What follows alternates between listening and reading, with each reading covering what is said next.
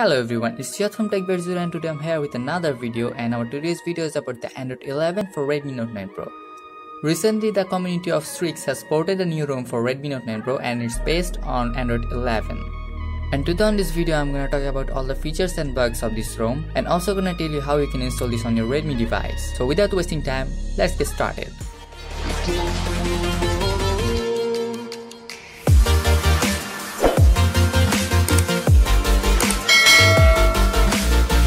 So this is our Strix OS and it's based on Android 11. And now it has been released for Redmi Note 9 Pro, but the thing is it's not official right now.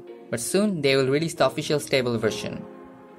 So on this version of Strix you'll get kind of this kind of home screen and it's similar as any other AOSP based ROM.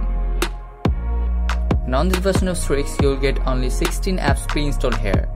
So on this version of Strix you'll get kinda this kind of home screen, it's similar as any other AOSP based ROM. In this build of Strix, you'll get kinda this kind of notification panel and it's similar to any other AOSP based ROM. But the thing is, here you'll be able to enable the hotspot, the Wi-Fi and the mobile data at the same time. Let me show you. As you can see, I have enabled the mobile data, the hotspot and also the Wi-Fi. But the minus point of this ROM is there is no auto brightness option on this notification panel. So as you can see, you will get a pill button here and with this option you can switch to any of the previous apps you have been used, like this.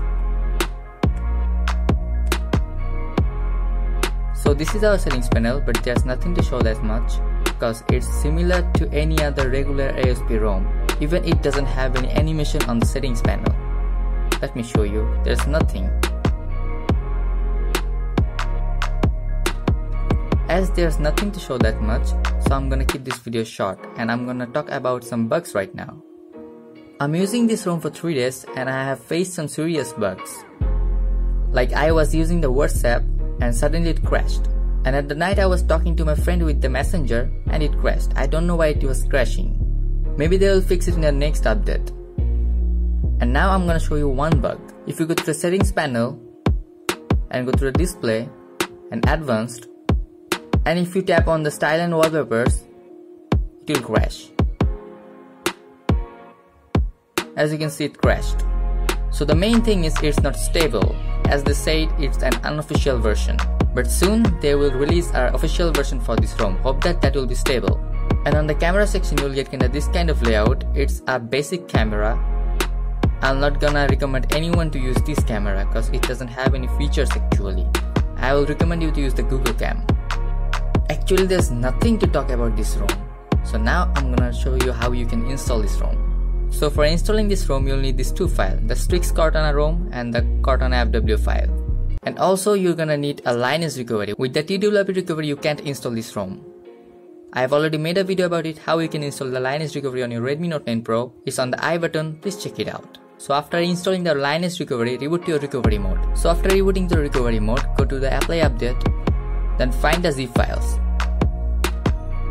Now firstly you have to install the Strix Curtana so after the installation has been done, we have to install the FW file. Don't forget to install it cause if you don't install it, you will not be able to use your SIM card. Actually, the signature verification has been failed, just tap on yes. After the installation has been done, go to back and go to factory reset, format data, again format data, your data will be formatted. After it's done, go to format cache, tap on yes, it will be formatting your caches.